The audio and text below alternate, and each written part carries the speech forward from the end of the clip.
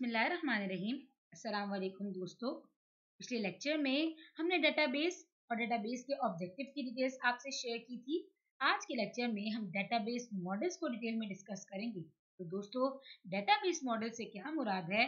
A database model is simply a model और a way in which the data within the database is structured यानी database models दरअसल ये बताते हैं कि आप किस तरीके से डाटा को डेटाबेस सिस्टम में रखेंगे और किस तरीके से उस डाटा को डेटाबेस सिस्टम से निकालेंगे रिट्रीव करेंगे और इसी असना में डेटाबेस आपको तीन तरह के मॉडल्स प्रोवाइड करता है हिरार्किकल मॉडल नेटवर्क मॉडल और रिलेशनल मॉडल आइए इनको बारी बारी डिटेल में पढ़ते हैं। हिरार्किकल मॉडल दोस्तों हिरार्किकल मॉडल 1960s में डेवलप किया गया था और ये खास तौर से मेन फ्रेम कंप्यूटर के लिए बनाया गया था। और ये इसकी डेफिनेशन देखिए इन hierarchical model data is organized like a family tree और inverted tree. दोस्तों hierarchical model को family tree या inverted tree भी कहा जाता है, क्योंकि इसमें डाटा एक ट्री की मानंद, एक दखल दरख्त की मानंद ऑर्गेनाइज होता है। जैसे अगर फैमिली ट्री की बात करते हैं तो सबसे टॉप पर आपके ग्रैंडफादर हैं। अगर आपके ग्रैंडफादर के चाइल्ड यानी आपके फादर आपके फादर के सिबलिंग्स होंगे। इसी तरीके से आपके फादर हैं पेरेंट और फिर ये आप, और ये आपके सिबलिंग्स इसी तरीके से आपके जो फादर के सिबलिंग्स हैं, उनके भी इसी तरीके से चाइल्ड होंगे। और फिर इस तरीके से अगर उनके और सिबलिंग्स हैं तो उनके भी चाइल्ड होंगे। इसीलिए वी कैन से कि the hierarchical structure makes a parent child relationship यानी यहाँ आप देखें तो तमाम नोट्स दोस्तों, ये जो तमाम बॉक्सेस आपको नज़र आ रहे हैं दीज आर नोट्स तो ये तमाम के तमाम नोड्स के दरमियान पेरेंट और चाइल्ड का रिलेशन होगा। दोस्तों, ये देखिए सबसे टॉप पर एक पेरेंट है और ये है इनके तीन चाइल्ड इसी तरह ये पेरेंट है और ये है तीन चाइल्ड यानी आप कोई भी नोट उठा लें, तमाम नोट्स के दरमियान पेरेंट चाइल्ड रिलेशन होगा। और याद रखें in this case a parent have more than one child यानी एक पेरेंट के मल्टीपल चाइल्ड हो सकते हैं। लेकिन a child always has only one parent यानी एक चाइल्ड का हमेशा एक ही पेरेंट होगा। इसीलिए हेराटिकल मॉडल को वन टू मैनी रिलेशनशिप भी कहा जाता है, क्योंकि जिस तरह नॉर्मल लाइफ में एक पेरेंट के बहुत से चाइल्ड होते हैं, जैसे आपके फादर हैं और आप और आपके सिबलिंग्स के फादर तो यानी आपके और आपके सिबलिंग्स के फादर तो एक हैं। लेकिन चाइल्ड ज़्यादा हैं। यानी आपके जो फादर हैं, उनके चाइल्ड ज़्यादा हैं, जबकि चाहे आपके कितने भी सिबलिंग्स हो, उन सब के फादर्स एक ही हैं। तो ऐसा मॉडल कहलाएगा one to one to many model के वन पेरेंट और मैनी चाइल्ड तो दोस्तों हेरार्किकल मॉडल का स्ट्रक्चर इन्वर्टेड ट्री की तरह का भी होता है। जिस तरह अगर आप ट्री की बात करें नॉर्मल ट्री की बात करें तो ट्री के जो बॉटम पर सबसे नीचे रूट होती है और अपवर्ड की तरफ़ ग्रोथ करती है उसकी शाखें। लेकिन इन्वर्टेड ट्री क्या होगा? इन्वर्टेड ट्री को हम ये कहने की एक उल्टा ट्री जिसकी जो रूट होगी, वो टॉप पर होगी और शाखें जो होंगी, वो नीचे होंगी। तो दोस्तों, अगर आप इस हिरार्किकल स्ट्रक्चर को देखें तो ये जो है, यहाँ पर ये है, ये कहलाएगी रूट नोड क्योंकि यहाँ पर ये इन्वर्टेड ट्री की मानंद होता है तो रूट सबसे टॉप पर होगी और जो इसकी शाखें होंगी, वो बॉटम पर होंगी। अब आइए दोस्तों जानते हैं कि हिरार्किकल मॉडल में डाटा को किस तरह से स्टोर किया जाता है। दोस्तों, यहाँ पर डाटा को सिक्वेंशियल वे में स्टोर किया जाता है।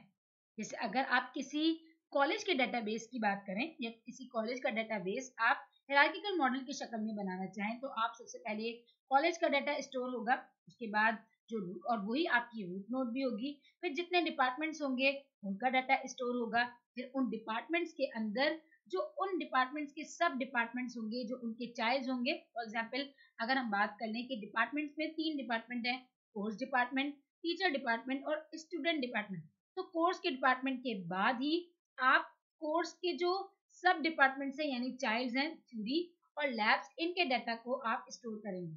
यानी यहाँ आप सिक्वेंशियली डाटा को स्टोर करते जाएँगे वन बाय वन डाटा को स्टोर करते जाएँगे कि पहले कॉलेज फिर डिपार्टमेंट फिर कोर्स फिर थ्योरी फिर लैब यानी सबसे पहले पेरेंट देन उसके बाद चाइल्ड और इस तरीके से पेरेंट चाइल्ड पेरेंट चाइल्ड के रिलेशनशिप के थ्रू ही आप डाटा को स्टोर करेंगे. दोस्तों, अब अगर आप किसी पर्टिकुलर डाटा को रिट्रीव करना चाहते हैं, जैसे किसी लैब के डाटा को रिट्रीव करना चाहते हैं तो आपको स्टार्ट भी टॉप से करना होगा कि पहले आप यूनिवर्सिटी के ऊपर जाएँगे सॉरी पहले कॉलेज पर जाएँगे, उसके बाद डिपार्टमेंट फिर उसके बाद कोर्स और फिर उसके बाद ही आप लैब के अंदर से डाटा को रिट्रीव कर सकेंगे। यानी ये जो हिरार्किकल मॉडल है, ये तब ज़्यादा सुटेबल है जब आपको सिक्वेंशियल वे में डाटा को एक्सेस करना हो। लेकिन दोस्तों, इस मॉडल के दो ड्रॉबैक्स भी हैं।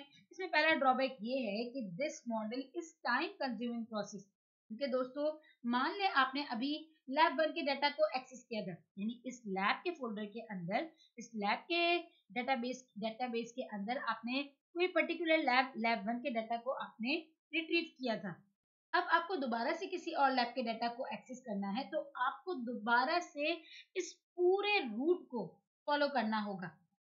कि पहले college then department then courses and then lab तब जाकर आपका दूसरा रिकॉर्ड रिट्रीव होगा। तो दोस्तों इसी में, इसमें क्योंकि आपको ज़्यादा टाइम लग रहा है, इसीलिए वी कैन से कि ये एक टाइम कंज्यूमिंग प्रोसेस है। And the second drawback is there is no connection between separate nodes यानी अगर आप इस तस्वीर पर भी गौर करें तो पेरेंट चाइल्ड रिलेशन के अलावा यहाँ कोई रिलेशन नहीं है नोट्स के दरमियान। अब अगर आप कोर्स की नोट पर मौजूद हैं, यानी आप इस नोट पर मौजूद हैं और आपको टीचर डिपार्टमेंट पर जाना है तो आपके पास क्योंकि कोई सेपरेट लिंक मौजूद नहीं है इसीलिए यहाँ आप पहले यूनिवर्सिटी नोट पर जाएँगे, तब जाकर ही आप कॉलेज नोट पर जाएँगे, उसके बाद डिपार्टमेंट नोट पर जाएँगे, तब जाकर ही आप टीचर्स के अंदर मौजूद टीचर्स के डिपार्टमेंट के अंदर मौजूद डाटा को एक्सेस कर सकेंगे। तो इसका एक बड़ा ड्रॉबैक ये भी है कि हमारे पास पेरेंट चाइल्ड लिंक के अलावा कोई और लिंक मौजूद नहीं है, कोई और रिलेशन मौजूद नहीं है। तो दोस्तों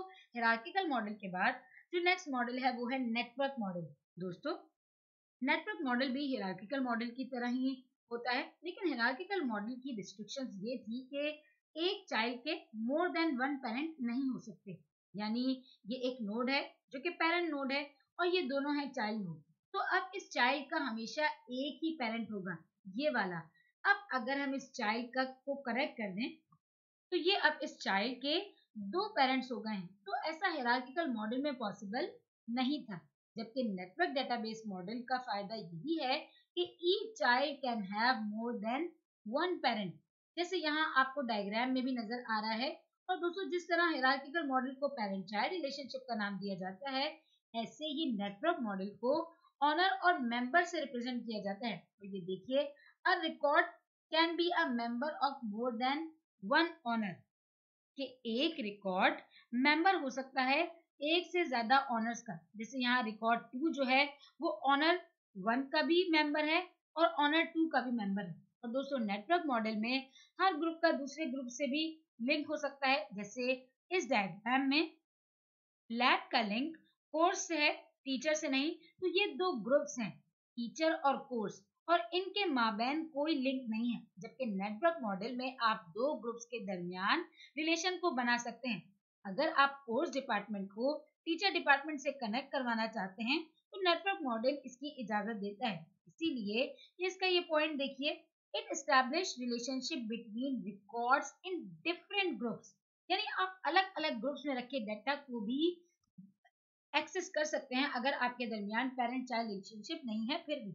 और डियर स्टूडेंट्स जिस तरह हिरार्किकल मॉडल को one to many relation model भी कहा जाता है क्योंकि वहाँ एक पेरेंट के हमेशा मल्टीपल चाइल्ड ही हो सकते हैं, जबकि नेटवर्क मॉडल को वन टू मैनी और मैनी टू वन मॉडल भी कहा जाता है, क्योंकि in network model one parent can have many child and one child can have many parents और दोस्तों, ये इसका एक एडवांटेज देखिए the major advantage of network database over hierarchical is there access to multiple data sets यानी आप multiple groups में data को एक्सेस कर सकते हैं, जहाँ आपके पास रिस्ट्रिक्शंस नहीं है और क्योंकि ये सिक्वेंशियल नहीं है तो एक ग्रुप से डायरेक्टली दूसरे ग्रुप का डाटा एक्सेस हो सकता है, जिसकी वजह से आपका टाइम भी कंज्यूम नहीं होगा। लेकिन दोस्तों, इसका एक डिसएडवांटेज भी है कि ये हिरार्किकल डेटाबेस की निस्बत कॉम्प्लेक्स होता है। ये डायग्राम में भी आप देख सकते हैं, इसीलिए एक कॉम्प्लेक्स नेटवर्क मॉडल में मजीद डाटा को डालना भी मुश्किल होता है, उसमें इंजर्शन भी मुश्किल होती है।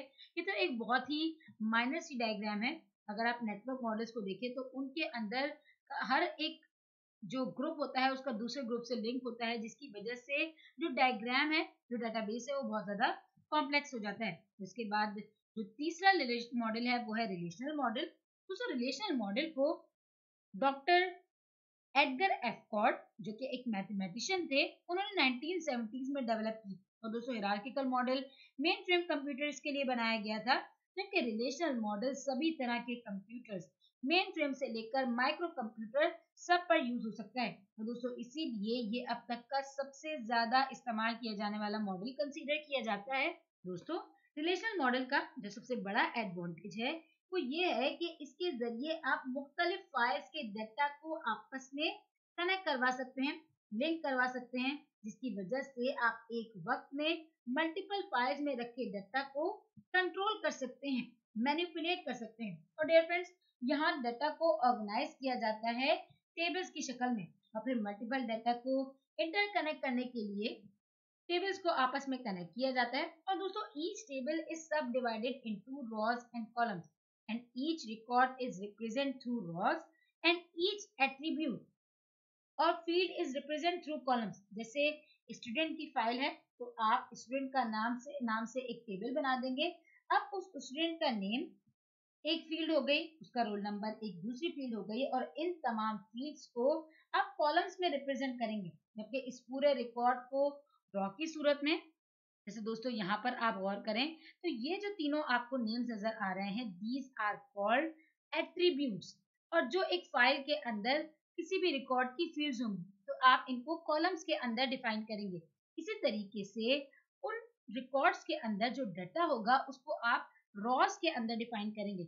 और दोस्तों, यहाँ पर तमाम डाटा इन्हीं टेबल यानी रॉस एंड कॉलम्स की शक्ल में रिप्रेजेंट किया जाता है। और दोस्तों रिलेशन मॉडल मॉडल के ज़रिए आप दो अलग अलग टेबल्स के दरमियान भी रिलेशन बना सकते हैं, और वो रिलेशन भी आप एक न्यू टेबल की सूरत में बनाएँगे। जैसे यहाँ एक स्टूडेंट का टेबल है और एक टीचर का टेबल है। तो इन दोनों टेबल्स के दरमियान अगर हम कोई रिलेशन बनाएँगे रिलेशन मॉडल के थ्रू तो आप इसके लिए एक नया टेबल जनरेट करेंगे S T U underscore T A के नाम से, जिसमें स्टूडेंट और टीचर दोनों के टेबल्स की कीज मौजूद होंगी। जी हाँ दोस्तों, यहाँ पर हर एक रिलेशन मॉडल में, हर एक टेबल में, हर एक रॉ को एक यूनिक की दी जाती है। और उन कीज को अगर आप दो टेबल्स के दरमियान को रिलेशन बनाना चाहते हैं तो उन कीज को इस नए टेबल के अंदर पुट कर देंगे। और इस न्यू टेबल की वजह से आपका कंट्रोल डेटाबेस पर और बढ़ जाएगा, क्योंकि अब दोनों टेबल्स की कीज आपके पास मौजूद हैं। तो इस तीसरे टेबल की मदद से इन दोनों टेबल से आप एक साथ डाटा को एक्सेस कर सकते हैं।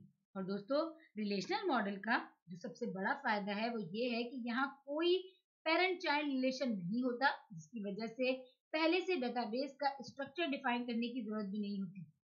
बल्कि जब ज़रूरत हो, एक टेबल बनाया और रिलेशन क्रिएट कर दिया। दोस्तों, इसीलिए रिलेशनल मॉडल को सबसे ज़्यादा इजीएस्ट मॉडल कंसीडर किया जाता है और ये अब तक का सबसे ज़्यादा यूज़ किया जाने वाला मॉडल कंसीडर किया जाता है। सो इस मॉडल को मजीद डिटेल में हम नेक्स्ट लेक्चर में पढ़ेंगे। हम नेक्स्ट चैप्टर में पढ़ेंगे, जिसका नाम है बेसिक कॉन्सेप्ट ऑफ़ डेटाबेस अभी आप ये जान ले कि रिलेशनल मॉडल ऐसा मॉडल होता है जिसमें आप तमाम फाइल्स में रखे डेटा को टेबल्स की शक्ल के अंदर स्टोर करवाते हैं। दोस्तों, ये थे तमाम मॉडल्स यहाँ पर हमारे लेक्चर का अख्ताम हुआ। अगले लेक्चर में हम डेटाबेस मैनेजमेंट सिस्टम और उसके ऑब्जेक्टिव की डिटेल्स आपसे शेयर करेंगे। तब तक के लिए अल्लाह हाफिज़।